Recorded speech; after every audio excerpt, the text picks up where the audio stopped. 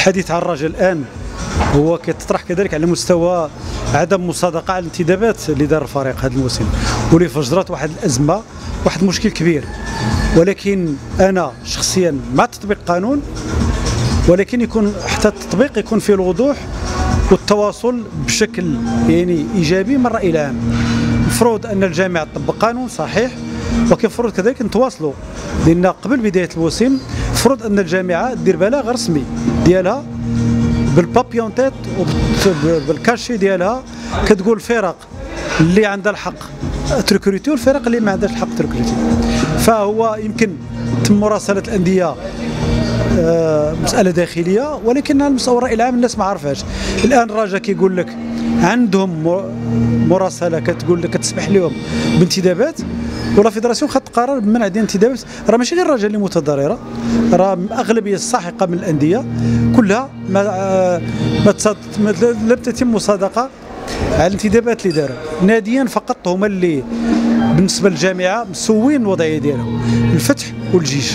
وبالتالي فالأندية كلها ولكن بالوقت اللي وصلت الرجاء بطبيعة الحال كاين تأثير ديال الرجاء كفريق كبير كقاعدة جماهيرية كتأثير كذلك على المستوى الأحداث في الصعيد الوطني المستوى الرياضي. فكان هذا اللغط وهذه المشاكل وهذا التهديد كذلك. تهديد بالانسحاب.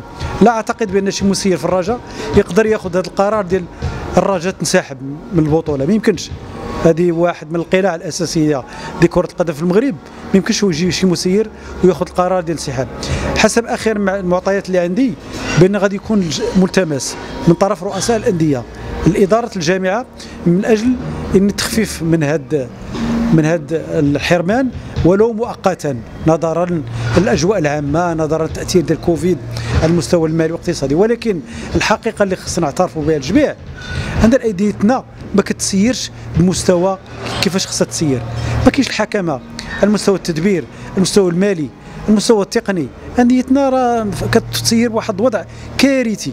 وبالتالي لابد من انتباه لهذا العامل هذا. حنا كنقولوا بأن كرة القدم في المغرب مابقاش كتعطي لاعبين متميزين راه مابقاش كتعطي حتى مسيرين في المستوى العالي والدليل هو التدبير المالي ديال الأندية وهذا الإفلاس الحقيقي اللي كاين على مستوى الأندية. أغلبية الساحقه من الأندية تعاني من الإفلاس المالي. علاش؟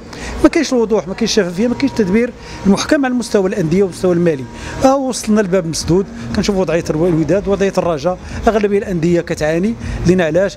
كاين مشكل حقيقي في التدبير المالي والتسيير التقني ودليل كذلك كنقولوا علاش اللاعبين ما كاينينش في الفريق الوطني راه عندنا مشكل مستوى التكوين كذلك على مستوى الأندية ودليل بأن شوفوا مصر والسنغال لعبوا وصلوا لانهم أغلبية الساحقة تكونوا من الأندية ديالهم واحترفوا. حنا هو العكس اللي حاصل لأن هذا التدبير اللي كان به كرة القدم والرياضة بصفة عامة خصو يتوضع عليه حد لأن التدبير دنا الإفلاس.